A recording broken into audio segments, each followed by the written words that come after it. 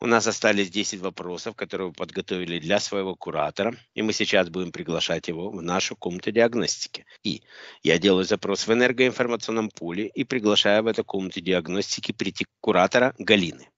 Рад приветствовать вас в этом прекрасном помещении. Приветствуем вас, куратор Ладо. Очень рады снова видеть вас в нашей комнате диагностики. Галина подготовила 10 вопросов, которые хотелось бы задать вам. Будете ли вы так любезны ответить на эти вопросы? Я очень рад этой встрече Взаимно. решению пообщаться в открытом пространстве. Я отвечу на вопросы души. Отлично. Я начинаю с первого вопроса. Откуда родом моя душа и как выглядит дом моей души? Великолепный вопрос. Могу лишь сказать, что время пришло узнать происхождение души, ты ангельская душа, и твои энергии, соответственно, ангельские. Мы приветствуем в нашей комнате диагностики представителя ангельского мира. Мы очень рады вам. Если позволите, если вы здесь ответили или нет, там была вторая часть вопроса, как выглядит дом моей души. Да, именно к этой части я и перехожу. Ангельские уровни несут светлые чистые энергии. Любой уровень ангельских душ сопоставим с добротой, милосердием, защитой и духовностью. Соответственно, ангельские энергии наполнены этими качествами и светом.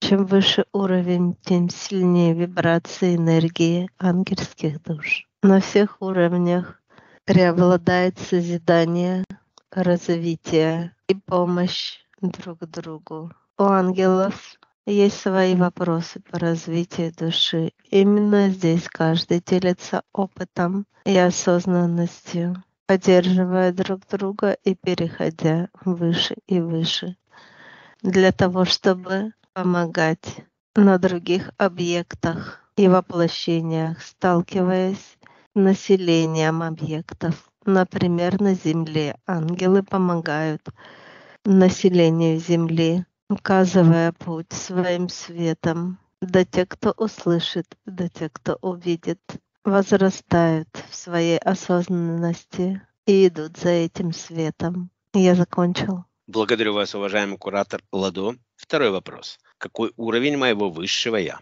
Десятый уровень высшего Я, так же, как и ангельский, и переходит ангел. с девятого на десятый. Отлично. Можем переходить к следующему вопросу. Пожалуйста. Третий вопрос. Рождалась ли я на других планетах? Если да, то на каких? Планетах и объектах. Это обязательное развитие любой души, ангельской или, или других, или душ других объектов. Ангельские души, как и души других объектов, для своего развития необходимо пройти разный опыт и существование в разных формах, не потеряв свое внутреннее наполнение. Твоя душа воплощалась на Марсе, Уране. Это то, что касается планет. Отвечая на твой вопрос, я закончил. Благодарю вас. Следующий вопрос, четвертый. Как выглядят энергии моей души и как ими управлять? Энергии твоей души светлые и чистые. Чтобы их ими управлять их нужно увидеть и прочувствовать. Визуализация развивает твое ясновидение. Чувство этих энергий развивает твое яснознание. Это значит, ты четко понимаешь, что твои энергии проходят из чакры в чакру, наполняясь вибрациями и выходя за пределы твоего тела. Эти энергии не обязательно мягкие, светлые. Эти энергии также работают для защиты твоего тонкого тела и физического биоробота, находящегося на Земле. Эти энергии могут быть острые, колкие, по краям, защищающие твое внутреннее состояние и свет ангельских энергий. Все энергетические центры наполнены этими энергиями, светлыми, чистыми, теплого белого света. Я закончил. Благодарю вас. Пятый вопрос. Как выглядит мой стержень, если есть ли он у меня? Несомненно, есть. Так же, как твоя душа находится в твоем теле. Именно это имеется в виду стержень. Твой стержень — это твоя уверенность, твое сознание и твоя внутренняя сила твоей ангельской души. Как выглядит твой стержень, зависит от тебя. На данный момент я вижу свет, искрящийся равномерно по всему твоему тонкому телу.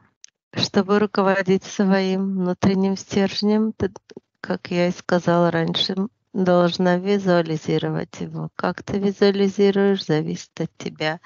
Это может быть внутренний шар, который расширяешь, или же стержень, который проходит с нижней чакры по всем энергетическим центрам вверх. Сейчас твой стержень рассеян по всему телу, излучая свет. Только ты знаешь, как работать с твоими энергиями. Именно поэтому визуализация может помочь и расширить твои знания, представляя этот свет внутри себя. Как я вижу, ты распыляешь его по всему телу, так приятно тебе, так ты чувствуешь свою защиту. И это прекрасно. Собирая его во внутренний шар, он находится в сердечной чакре. Ты можешь сжимать его и расширять его до пределов возможных и приятных только тебе, выходя далеко за свои пределы или собирая этот шар внутри. Это зависит от твоего состояния, настроения, а также внутренней защиты. Насколько далеко ты хочешь защитить себя своим светом и энергиями. Благодарю. Благодарю вас. Шестой вопрос. Каковы мои душевные задачи? Душевная задача любого ангела — нести этот свет, что бы ни случилось, какая бы тьма ни была вокруг тебя. Именно этим занимаются вибрации, укреплением твоих энергий. Поднимая вибрации выше, твои энергии становятся сильнее, соответственно, защита идет сильнее. Защита твоей оболочки и защита твоих тонких тел. Неся этот внутренний ангельский свет, я объясню для начала, что это значит. Это значит, твое внутреннее состояние остается в гармонии, а не в хаосе. Как я уже сказал, какая бы тьма ни была вокруг тебя, задача ангельской души — не потерять свой свет, не загрязнить его, а нести его, чтобы другие увидели те, кому он нужен, те, кто последует за ним, увидев доброту и светлые энергии, поверив в созидание, силу и любовь. Я показываю это в данный момент. То, что находится внутри тебя, свет. Но энергии на планете Земля сгущаются. Поэтому ангелы, защищая свой свет, идут дальше, неся этот свет, не загрязняя его, не поглощая тьму. Что это значит? Это значит, держит свои вибрации высокими, а внутреннее духовное состояние чистым и гармоничным. Благодарю. Благодарю вас. Седьмой вопрос. В каком направлении я должна развиваться? Я не буду заглядывать далеко. Первичная задача для тебя — это держать свои энергии в чистоте, научиться визуализировать их и поднимать свои вибрации, не допуская изменения настроения и своего внутреннего настроя, не допуская колебания и грязь в свою душу. Расстраиваясь, ты понижаешь автоматически вибрации. Это значит, твои энергии темнеют, твой свет гаснет. Сейчас он чист, вибрирует и распространяется. Научись держать его в таком состоянии. Когда твои вибрации закрепятся на определенном уровне, и твоя гармония будет сохраняться не ниже этих вибраций, тебе откроются любые дороги, любые дороги те, на которые ты будешь готова. Твои эмоции не должны превышать твоих чистых энергий. Это и есть гармония. Всплески эмоций, неважно, радостных или огорчающих не несут правильной энергии. Наблюдай, наблюдай за собой, устанавливай правильные гармоничные вибрации, наблюдай за другими, не допускай к себе эмоции и всплески чужих энергий, соответственно, чужих интерферентов. Защищай себя внутренним знанием и потоком. Ты должна нести ровный свет, а не выплескивающие световые энергозаряженные всплески или шары или молнии. Научись гармонизировать свои внутренние энергетические центры, распределяя правильно энергии, защищая себя. Благодарю. Я благодарю вас, уважаемый куратор Ладу. На этом месте, если позволите, один дополнительный вопрос. Мы сегодня проводили ее проверку, вокруг нее были клубы это чужой человеческой энергии. Кроме того, внизу в ногах уже образовалась какая-то воронка. Ну, воронку можно вступить, а, а эти клубы, вы сейчас не об этом говорили? О чужой человеческой энергии, которая вокруг нее формируется? Я благодарю тебя за этот вопрос. Мне трудно объяснять а без понимания, понимают меня или нет. Твой вопрос дает мне определенные точки, на которые я могу отталкиваться, объясняя работу с энергиями. Здесь присутствует наивность, наивность и поверхностные знания. Поэтому я несколько раз повторяю про визуализацию и удержку гармонии внутри себя. Удерживая гармонию без разных всплесков, мы удерживаем правильные вибрации. Когда существует наивность, идут разные всплески и ограничения. Именно об этом я говорю. Ограничения видения и понимания окружающей среды. Каждое слово несет свою вибрацию, так же, как и каждая мысль. Выбрасывая и сбрасывая свой негатив, мы забываем, что вокруг нас э, происходит энергообмен и люди, несущие свои энергии, и, как я уже сказал, энергии интерферентов оставляют свои энергии вокруг нас. Именно это должно происходить в развитии и понимании. Нахождение свое в этом мире. Одно — это понимание своих внутренних чувств и энергии, а другое — это понимание, что ты живешь среди таких же чувств и энергий. Разделение и понимание этих двух понятий укрепляют твой свет, как и любые знания. Наивно находясь в своих энергиях и продвигая их без понимания окружающей среды, в конечном итоге понизят твои вибрации и запустят этот чужой негатив или эмоциональный фон в твою внутреннюю, твою внутреннюю среду, в твои внутренние в твой внутренний свет. Он зайдет огорчением, он зайдет эмоциональным фоном. Тогда, когда эти клубы повысят определенный уровень. Я видел эту чистку и понимаю, о чем ты говоришь. Эти клубы затрагивают нервные окончания, а значит в какой-то момент дойдут до сердечной чакры и душевного состояния. Если это визуализировать, то можно увидеть свет тонких тел, который постепенно, ниточка за ниточкой, наполняется чужими эмоциями, настроением. Если не ограничивать себя эм, внутренне, если не понимать и не видеть этого, а живя лишь в своих энергиях, в какой-то момент они завладеют тобой. Именно поэтому так важно понимание твоего состояния в этом мире. Именно поэтому я так часто упомянул защиту, защищаться своими энергиями, расширяя их, но защищаться нужно знать от чего. Поэтому мысленно нужно проговаривать каждое слово, понимая, что ты имеешь в виду, визуализировать эти слова. Именно так работают энергии визуализации. Чистые сжигают темные, положительные вибрации и положительные настрой а также хорошее настроение не дает к себе подпустить чьи-то злые эмоции или негативные вибрации, сжигая их, не давая проникнуть в свое биополе и тонкие тела. Именно так я объясняю это на уровне энергии. Думаю, это понятно. Безусловно, я благодарю вас за этот развернутый ответ, уважаемый куратор Ладо.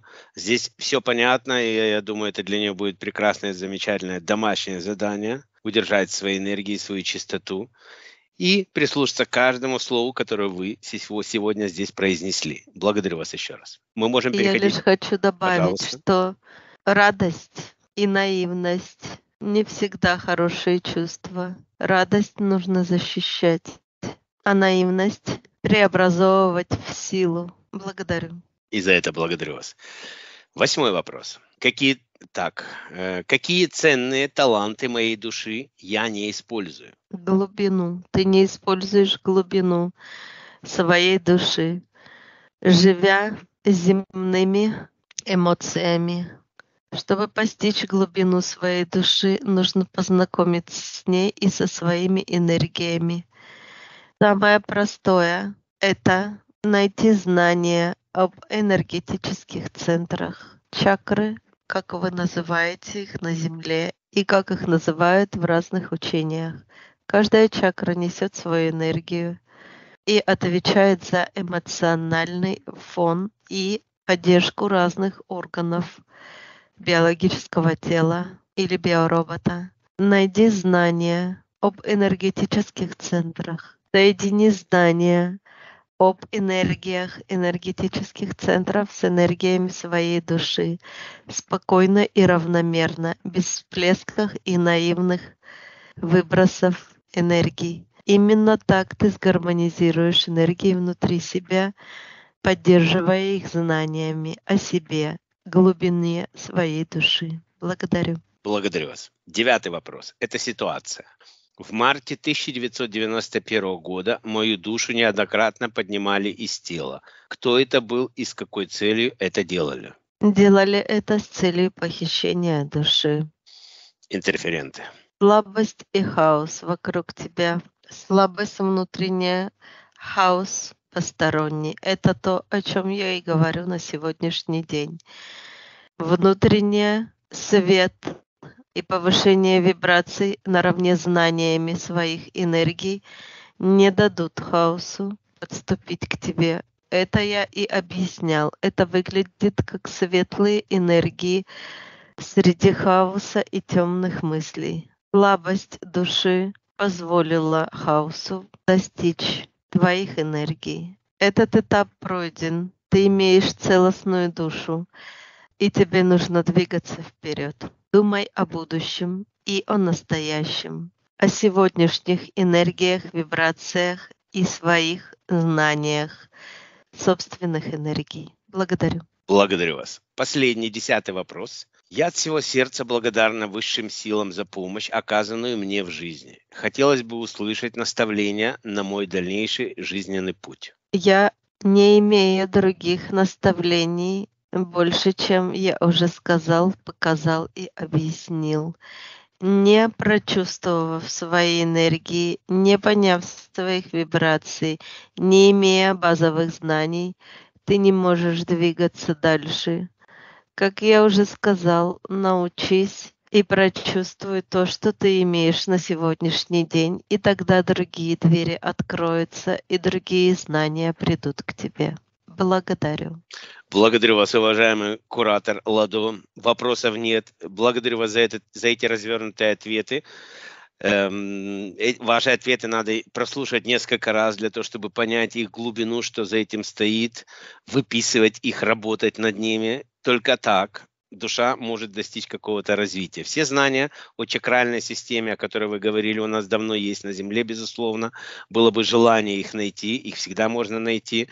Второе важное дополнение, вы сказали, это визуализация всех этих действий и также твердое намерение. И энергии, визуализация, визуализация энергии. энергии. Все, о чем я говорил сегодня, это энергии. Так и есть. На этом месте огромное вам спасибо. Позвольте вам преподнести наш подарок, вы о нем знаете.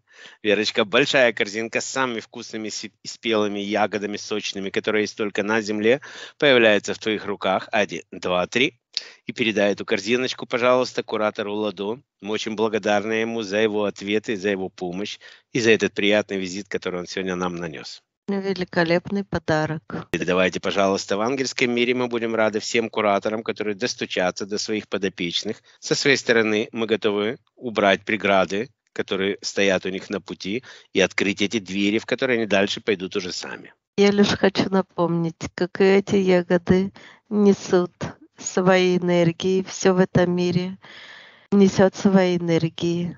Каждый объект, как и планета Земля, насыщен энергиями. Именно поэтому так важно понимать свои внутренние энергии, внутренние энергии биоробота, внутренние энергии энергетических центров и свои собственные энергии своей души.